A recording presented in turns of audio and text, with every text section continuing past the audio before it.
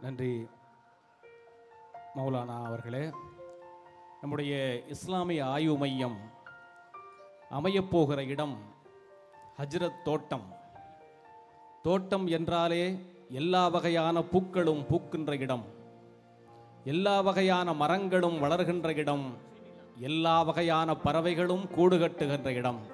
ஆகையால் இந்த ஹஜ்ரத் தோட்டத்திலும் எல்லா மதங்களும் எல்லா மனங்களும் தன்னுடைய உன்னதங்களை எட்டி பிடிக்கும் என்கிற நம்பிக்கையோடு இந்த ஆய்வு நிறுவனம் இங்கே தொடங்கப்பட இருக்கிறது ஐயா பால பிரஜாபதி ஐயா அவர்கள் உரையாற்றுவதற்கு முன்பாக நம்முடைய வாணியம்பாடி டாக்டர் மரியாதைக்குரிய பெருமைகள் மிக்க அப்துல் கௌசர் அவர்களை அன்போடு மேடைக்கு அழைக்கின்றோம்.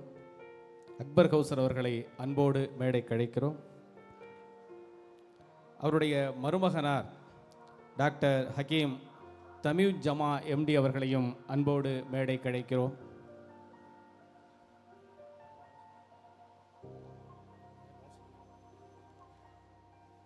மேடையில் அவர்களை அமருமாறு அன்போடு கேட்டுக்கொள்கிறோம்.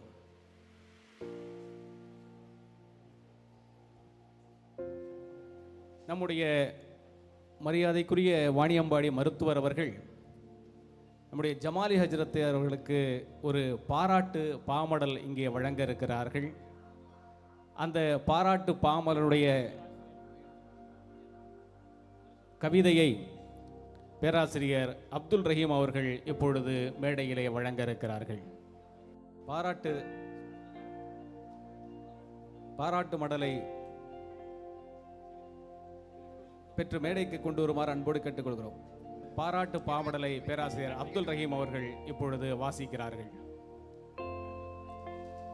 இருபத்தி ரெண்டு ஆறு ரெண்டாயிரத்தி பத்தொன்பது சனிக்கிழமை அன்று இனாம்குளத்தூர் இஸ்லாமிய ஆராய்ச்சி நிறுவனம் நடத்திய முப்பெரு விழாவில் இஸ்லாமிய ஆராய்ச்சி நிறுவனம் கவிக்கோ அப்துல் ரஹ்மான் நூலகம் வரலாற்றில் வாழ்பவர்கள் நூல் வெளியீடு ஆகியவற்றின் நிறுவனர் ஆன்மீக பேரொளி மௌலானா மௌலவி இ. ஷாகுல் அமீது ஜமாலி ஹசரத் அவர்களுக்கு வாணியம்பாடி தெய்வீக மருத்துவம் மாத இதழ் ஆசிரியர் மருத்துவ மாமணி டாக்டர் அக்பர் கௌசர் அவர்கள் மனமுவந்து வழங்கிய பாராட்டு பாமடல். வானவரும் மாணவராய் வாசல் வந்து கற்பதற்கு வர விரும்பும் ஆலிம் சுரபி ஜமாலி ஞானவரம் கேட்டதுவா நலமுடனே கபூலாக நாயகம் ஸல்லல்லாஹு அலைஹி வசல்லம் நகலான அருட்பிறவி. தீனவரும் ஆதி திராவிடரும் ஆத்திகரும் நாத்திகரும் தெளிவு பெற வழியும் சிந்தனை தேனருவி அவரோ மத ஆணைப்படை வீழ்த்திட அழகில் மண் உருண்டை அன்றாடம் சுமக்கும் அபாபில் சிறுகுருவி. வேறு வாசம் வேறு வண்ணம் என்றாலும் பூக்களில் ஊறுகின்ற தேன் சுவையோ ஒன்றுதானே? வேறு வாசம் வேறு வண்ணம் என்றாலும் பூக்களில் ஊறுகின்ற தேன் சுவையோ ஒன்றுதானே? வண்டுகட்கு தெரிந்த உண்மை மனித மண்டுகட்கு மட்டும் ஏனோ விளங்கவில்லை. வண்டுகட்கு தெரிந்த உண்மை மனித மண்டுகட்கு மட்டும் ஏனோ விளங்கவில்லை. வேதங்கள் ஒவ்வொன்றும் வெளிப்பட்ட காலம் வேறு. அவை ஓதும் செய்தி ஒன்று இறை என்பது தானே. ஆராய்ச்சி சொல்லும் இந்த அரிய உண்மை காட்ட ஈர உள்ளத்தோடு இஸ்லாமிய ஆய்வகம் நிறுவும் கூரான அறிவு குளத்தூர் ஹசரத் வாழ்க வாழ்கவே. மாக்கல் நிலை மாக்கல் நிலை நிர்வாணம் மனிதர்க்கு கல்லாமை ஊக்கமுடன் அறிவாடை உருவாகும் நூலாலே தன்மானம் காக்க தரியாகும் நூலகம்தான். என்பதனால் திருச்சி இனாம் குளத்தூர் தன்னிலே எழுதுகோலை களிமா ஏகத்துவ விரலாக்கி தொழுகை நடத்தியவும் தோழர் தோழர் கவி கலிஃபா கவிக்கோ பெயராலே நூலகத்தை பிரியமுடன் நிறுவுகின்றீர். நாயகரானீர் வீழ்ச்சி போல் உம் நட்பும் வற்றுவதில்லை. அம்மாவும் பத்து மாதம்தான் அதிகம் சுமந்து அம்மாவும் பத்து மாதம்தான் அதிகம் சுமந்தது தேசம்தான். சும்மா உயிர் விடுவோமா? சுதந்திரத்தை அடையாமல் அடிமை ஆடுகளா? அடிமை ஆடுகளா? ஆங்கிலேயர்க்கு பழியாக விடுதலை வேங்கைகள் நாம் விடுவோமா பரங்கியரை? வெள்ளை நிறத்திருக்கும் காரணத்தால் சாகும் வரை இல்லை ஊப்பு என் உணவில் என்ற தீரர் திப்புவின் பேரருக்கு திருக்கையால் ஒரு லட்சம் ரூபாய். ஒப்பில்லா நேதாஜி உயர்படை தளபதியாய் ஆயிரம் ஏக்கர் நிலம் ஆயிரம் சவரன் தங்கம் வைர நகை தாயுரமாக விடுதலைக்கு தந்த அமீர் ஹம்சா. திருமகளுக்கும் ஒரு லட்சம் ரூபாய் பொற்கிளி அள்ளி வழங்கும் அன்பு வள்ளலே. சொல்லி மாளாது தூயவரே நீங்கள் சுழற்றி வைத்த சட்டை கூட நீங்கள் கலற்றி வைத்த சட்டை கூட எடுத்து வழங்க எனக்கு விரல்கள் இல்லையே என வருத்தம். வரலாற்றில் வாழ்பவர்கள் வரலாற்றை அகழ்ந்தெடுத்து வரலாற்றில் வாழும் வாய்ப்பினை பெற்றிட்டீர். கரம்பக்குடி உம் பிறப்பால் கரும்பு குடி ஆனது. கரம்பக்குடி உம் பிறப்பால் கரும்பு குடியானது திரும்ப குடிபெயர்ந்து தீனை வளர்த்தெடுக்க இனாம் குளத்தூரில் இல்ஹாமுல் உலூம் மதர்சா கனாவில் மட்டுமே கண்ட நவீன கல்வியை இனாம் குளத்தூரில் எம்ஜேஎம் பள்ளி நிறுவிய உம் குணாம்சம் தொடரட்டும் உம் குடும்ப விழுதுகளால். நன்றி பேராசிரியர் ரஹீம் அவர்களே. இந்த கவிதை வடிவத்தை வழங்கியவர் நம்முடைய பெருமைக்குரிய கவிமாமணி தீமு அப்துல் காதர் அவர்கள். பாட்டும் சரி பாமாடலும் சரி வாணியம்பாடியிலிருந்து தான் வந்திருக்கிறது என்பதை தெரிவித்து இந்த ஹஜ்ரத் அவர்களுக்கு இந்த பாராட்டு பாமடலை டாக்டர் அக்பர் கௌசர் அவர்கள் தன்னுடைய திருக்கரங்களால் இப்பொழுது வழங்குவார்கள்.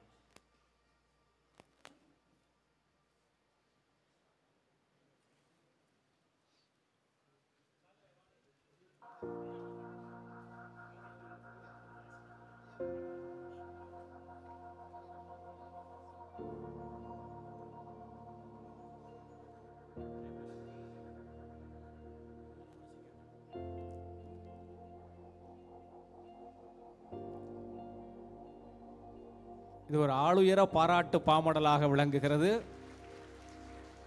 சிலருடைய உயரத்தை விட பாமாடல் பாமாடல் அதிகமாகவும் இருக்கிறது.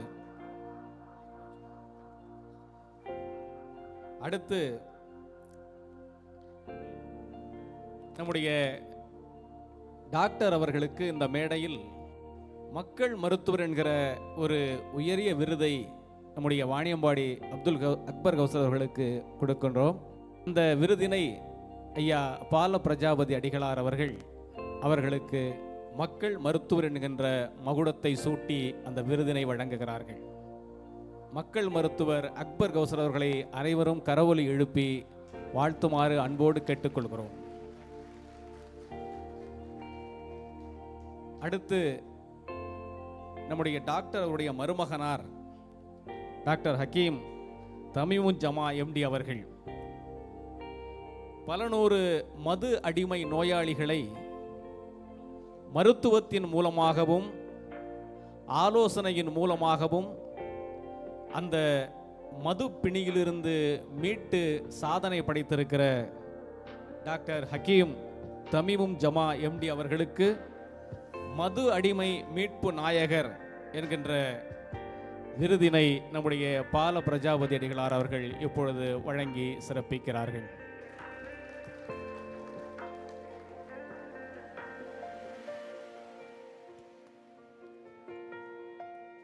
பெருமக்களுக்கு நன்றி. இந்த நிகழ்வில் சிறப்பாக முத்தாய்ப்பாக தாழக் கிடப்பாரை தற்காப்பதே தர்மம் என்கின்ற ஐயா வழியில் ஆன்மீக பயணம் நடத்தி கொண்டிருக்கிற நம்முடைய அனைவரின் போற்றுதலுக்கு உரிய ஐயா பால பிரஜாபதி அடிகளார் அவர்கள் இப்பொழுது வாழ்த்துறை வழங்குவார்கள்.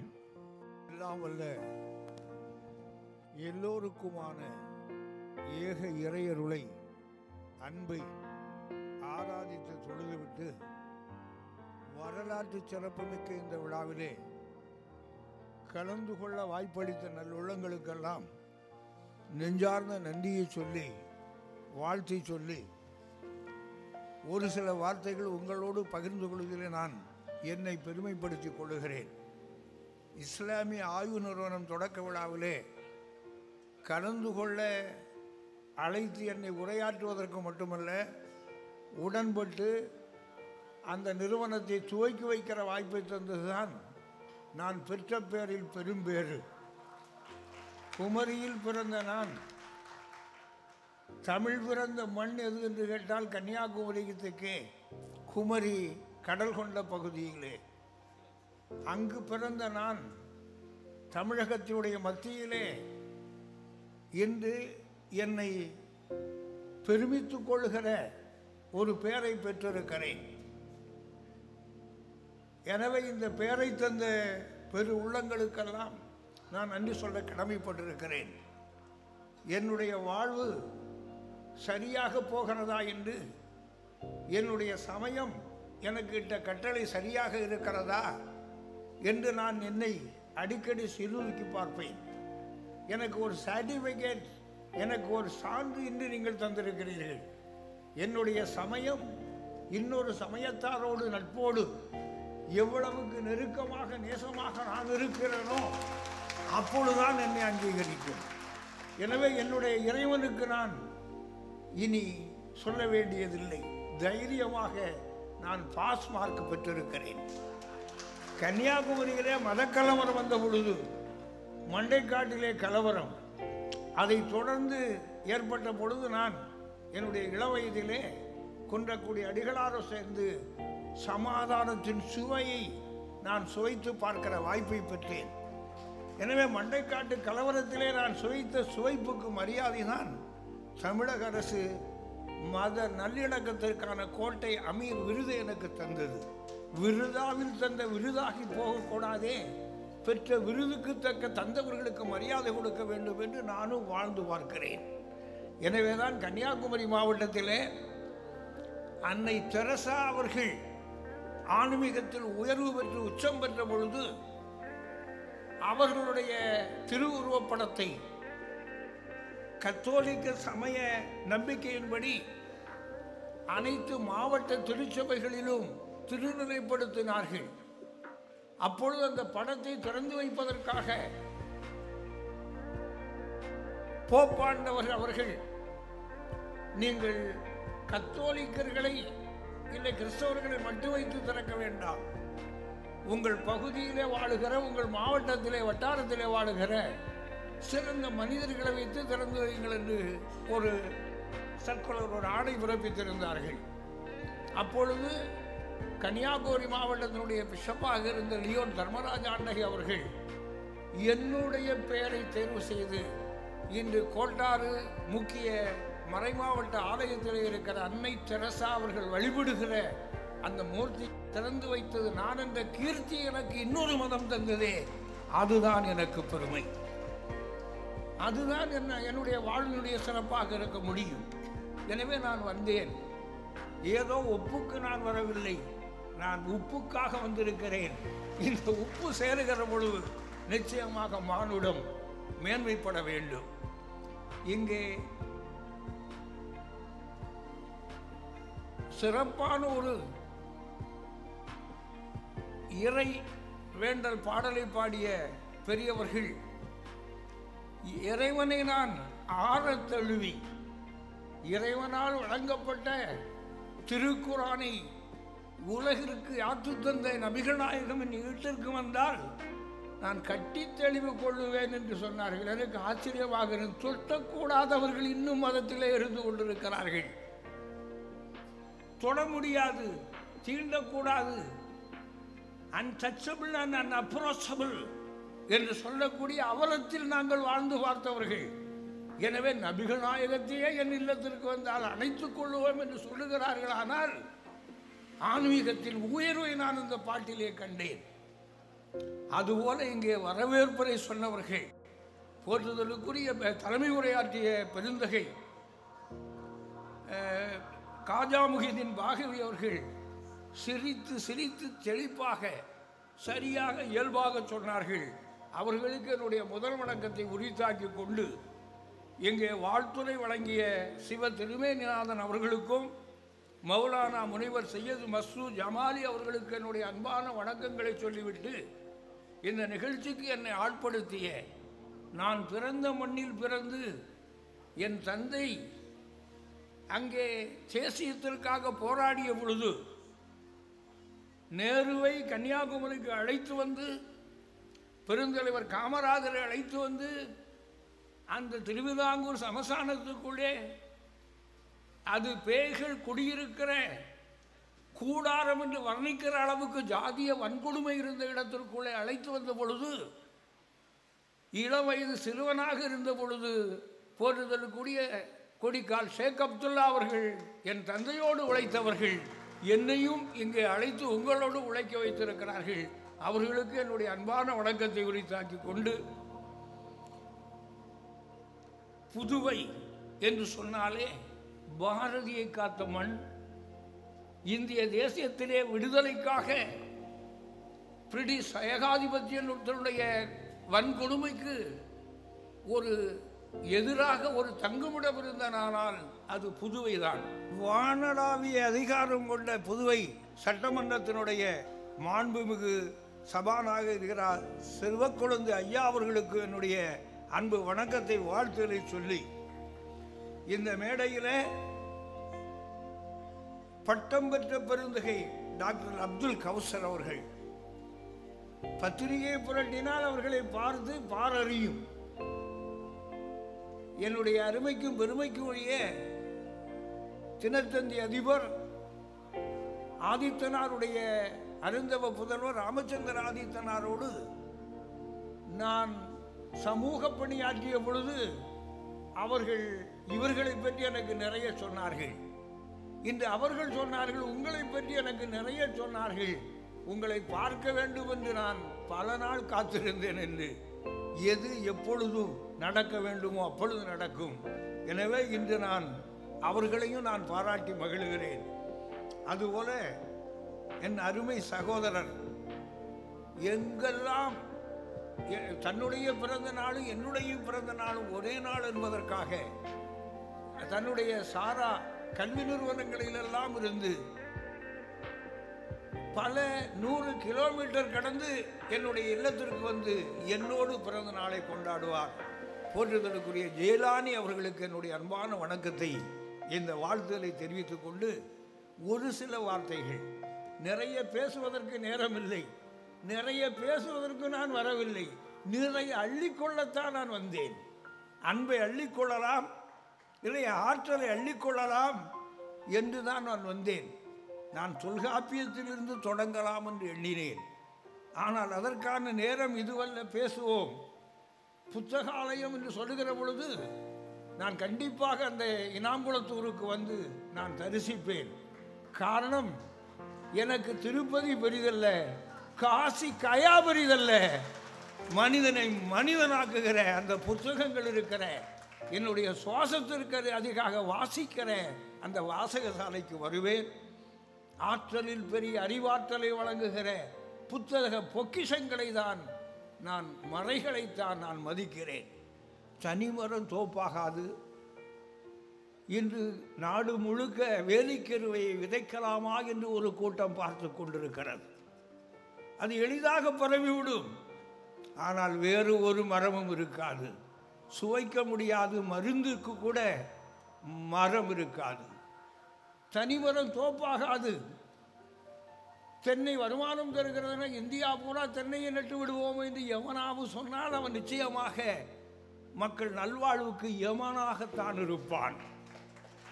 பனைமரத்தின் வாழ்தானங்களை ஊட்டி வளர்த்தது என்பதற்காக இந்தியா முழுக்க பனைமரமே இருக்கட்டும் என்று சொன்னால் சர்வ முட்டாளாகத்தான் எங்களை உலகம் கருதும். எனவே எல்லா மரமும் இருக்க வேண்டும். பல் சமயம் இருப்பதுதான் என் சமயத்திற்கு பெருமை. நான் எந்த சமயத்தை சார்ந்திருக்கிறேன் அன்பு சமயத்தை சார்ந்திருக்கிறேன் தம தமிழகத்திலே உருவான தமிழ் சமயத்தை சார்ந்திருக்கிறேன்.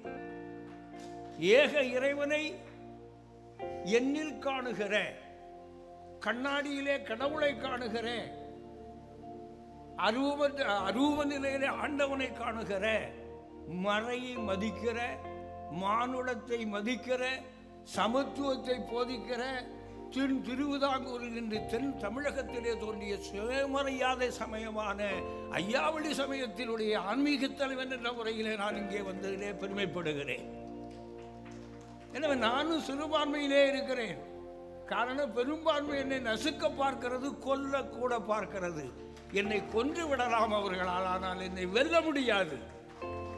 என்னை கொன்று விடலாம் ஆனால் என்னை வெல்ல முடியாது. காரணம் நான் வைத்திருக்கிற வேதம் வித்தியாசமானது.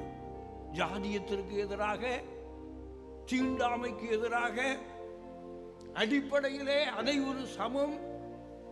அனைத்தும் அறிந்த ஆண்டவன் தமிழையும் அறிவார். தொழிலால் கூட்டு பிரார்த்தனை என்று கற்றுத்தந்த வேதத்திற்கு நான் சொந்தக்காரன். எனவே நான் சுயமரியாதைக்காரன் நான் சீர்திருத்த மதத்தை சார்ந்தவன். என்னை யாரும் வெல்ல முடியாது கொல்ல மட்டும் முடியும் அதற்கும் முயற்சிப்பார்கள் இந்த மண்ணிலே.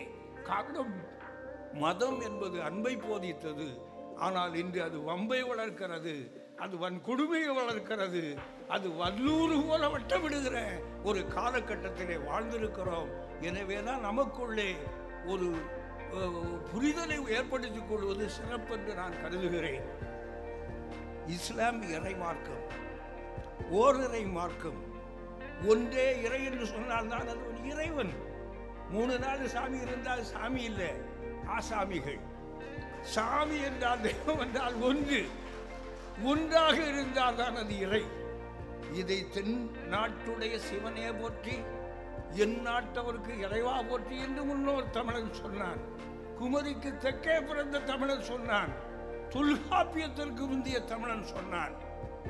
தென்னாடுடைய சிவன் சிவன் என்பது ஒரு ஒரு மதத்தினுடைய இறைவன் அல்ல. முதல் முதலில் மனிதன் மதத்தை கற்பித்துக் கொண்டான். அப்படி கற்பித்துக் கொள்ளுகிறவள் அவன் சிவன் என்று சொன்னான்.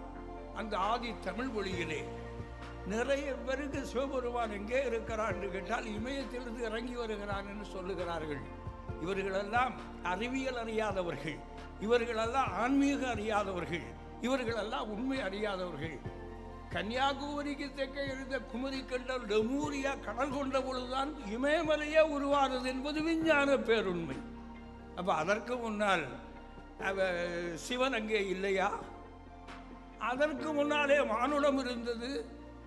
லெமூரியாவிலிருந்து ஆரம்பித்துத்தான் தமிழ் என்று சொல்லக்கூடிய திராவிடம் என்று சொல்லக்கூடிய உலகின் முதல் நாகரிகம். ஆதிச்சநல்லூரிலே அதை தாண்டி கீழடியிலே இன்று பேசப்படுகிறது இன்று உருவாக்கப்பட்டிருக்கு நிச்சய நிச்சயிக்கப்பட்டிருக்கிறது. இதுதான். கரப்பா முகஞ்சவராதற்கு தாய் என்று சொல்லுகிற விஞ்ஞானபூர்வமான முடிவு என்று அறிவுபூர்வமாக நிரூபிக்கப்பட்டிருக்கிறது. நாம் தமிழர். நாம் எல்லோரும் தமிழர். இஸ்லாமியர்களாக இருந்தாலும் சரி ஐயாவளி இல்லை இந்துவாக இருந்தாலும் சரி நாம் தமிழர். எனவே நம்முடைய நாகரிகம் தான் நம்முடைய தாய்மொழி தான். கருப்பாவிலும் மகஞ்சோதராவிலும் பேசப்பட்டது என்பதற்கு அடையாளமாகத்தான் இன்று பாகிஸ்தான் என்று சொல்லக்கூடிய பகுதியில் நூற்றி ஐம்பது பேர் தமிழ் பேர் இருக்கிறது ஊர்கள். புகழூர் இருக்கிறது கரூர் இருக்கிறது கோட்டையூர் இருக்கிறது. ஆனால் அவர்களுக்கு புரியாது. காரணம் அங்கிருக்கிற மொழி வேறு. ஆனாலுங்கிற ஊர் தாய்மொழி தமிழ்மொழி. நம்முடைய முன்னோர்கள் நம்முடைய உறவுகள் தான் பாகிஸ்தான் முழுக்க இருக்கிறார்கள் என்பதை தமிழன் உணர்ந்து கொள்ள வேண்டும். இந்த காலத்தினுடைய மாற்றம் நாடுகள் மாறி இருக்கலாம் மொழி மாறி இருக்கலாம். ஆனால் அங்கு இருக்கிற மானுடம் மாறி இருக்காது நம் முன்னோர்கள் தான். இங்கே ஒன்றை நீங்கள் புரிந்து கொள்ள வேண்டும்.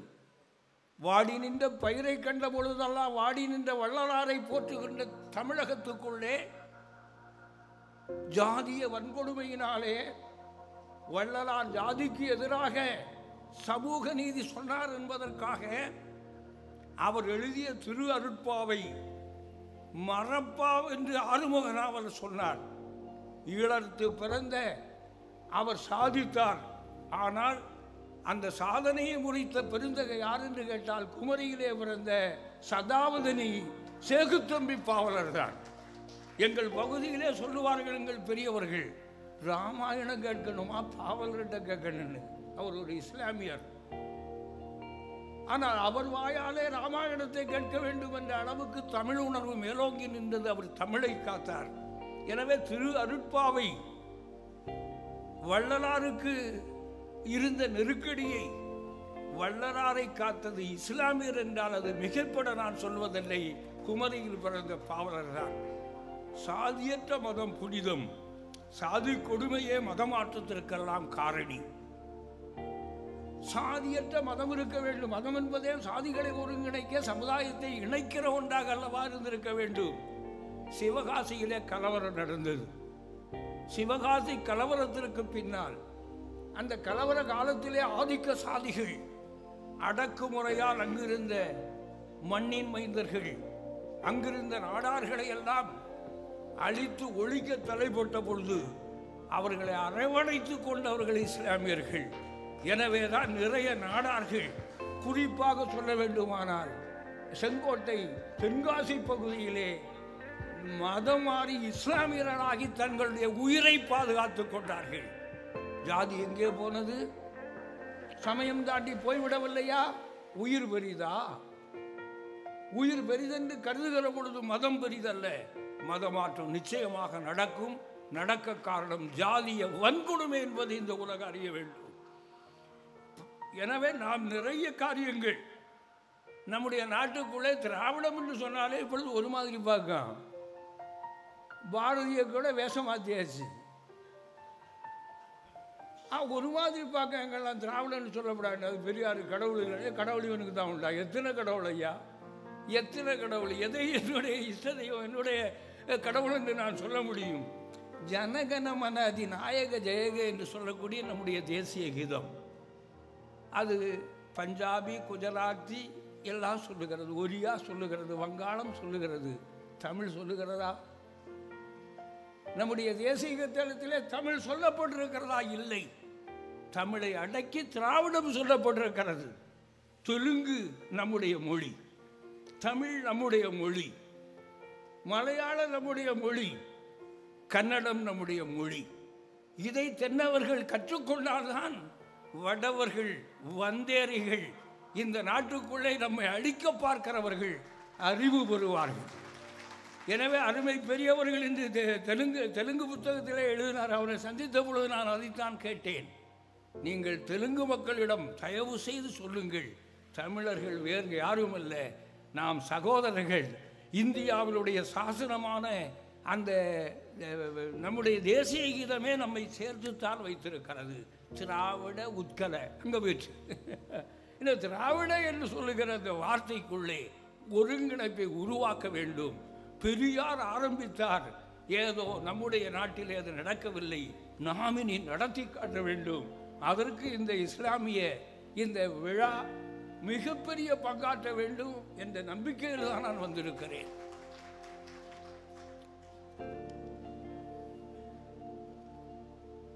ஒரு நம்பூதிரிக்கும் ஒரு நாடாருக்கும் பன்னெண்டு முழம் தள்ளி இருக்க வேண்டும்.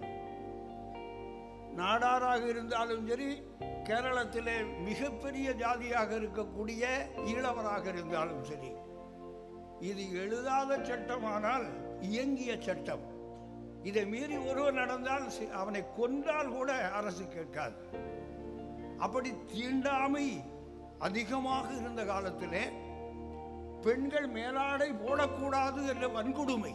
நீங்க பெண்ணுக்கு ஆடை இல்லாதவன் அரை மனிதனுங்க ஆனால் திருவிதாங்கூரில் ஆண்ட ராஜாக்கள் என்று கா- கடவுளின் பூமின்னு சொல்லுவான். விவேகானந்தர் பேய்கள் உலாகும் பூமி என்று சொன்னான். அந்த அளவுக்கு பேயாட்டம் ஜாதி போட்டது. பெண்கள் மேலாடை அணியக்கூடாது மேலாடை அணியவில்லை என்றாலே தாய்மை இல்லையே. அதற்கு அழகு அதல்லவா? அதுபோல் ஆண்கள் முட்டுக்கு கீழே முழு வேட்டி கட்டக்கூடாது.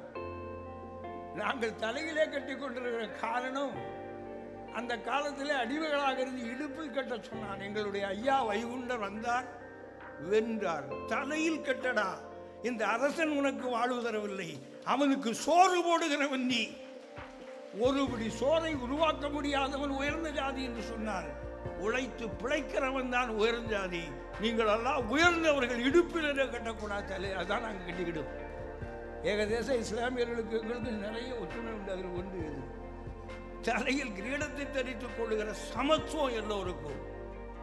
எனவே அந்த மண்ணிலிருந்து வந்த காரணத்தினால் நான் நன்றி சொல்லத்தான் என்றிருக்கிறேன் திப்பு சுல்தான் அவர்கள் வரலாற்றை மறைத்து மறைத்து பல பேசுகிறார்கள். எங்களுக்கு வரலாறு அவசியமில்லை. எங்கள் முன்னோர் வன்கொடுமைக்குள் ஆக்கப்பட்ட காலத்தில் எவன் ஒருவன் குரல் கொடுத்தானோ அவனை கையெடுத்து கொண்டிட வேண்டிய கடமை எங்களுக்கு இருக்கிறார் எனவே திப்பு சுல்தான் அவர்கள் திருவிதாங்கூரோடு அவருடைய படையோடு பயணப்படுகிற பொழுது பார்த்தாராம். அங்கே பெண்கள் மேலாடை இல்லாமல் வேலை செய்து கொண்டிருந்தார்களாம் அப்பொழுது அங்கே கேட்டபொழுது சொன்னார்களாம் மேலாடை அணிவதற்கு வரி கொடுக்க வேண்டும். அந்த வரி கொடுக்க முடியாத ஒரு இளவ பெண் தன் மார்பை வெட்டி எறிந்த வரலாறு அங்கே சொல்லப்பட்டது. அதிர்ந்து போனாராம் திப்பு சுல்தான். சொன்னாராம் அந்த திருவிதாங்கூருடைய அதிகாரிகளை அழைத்து உங்கள் ராஜாவுக்கு சொல்லுங்கள். இங்கு இருக்கிற தாழ்ந்த குல பெண்கள் என்று நீங்கள் நினைக்கிற பெண்கள் மேலாடை அணியக்கூடாது அணிய வேண்டுமானால் அதற்கு வரி என்று இருக்கிற வன்கொடுமை மாற்றப்படவில்லையானால் நான் திருவிதாங்கூருக்கு எதிராக போரிடுவேன் என்று சொன்னாரே சுதந்திரத்திற்காக போராடுவதற்கு முன்னால் என் முன்னோருடைய மானம் காக்க போராடிய மரியாதைக்குரியவன் அல்லவா சிப்பு சுல்தான்.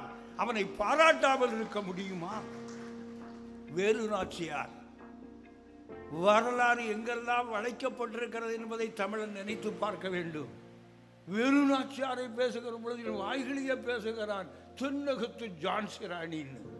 ஏதோ ஜான்சன் ராணி பெரிய ஆளு போலவும் எல்லாமே வடநாட்டுக்காரன் சொன்னால்தான் தென்னாட்டுக்காரனுக்கு தெனாவிட்டு வரும் என்பது போல பேசுகிறான் அறிவிலிகள்.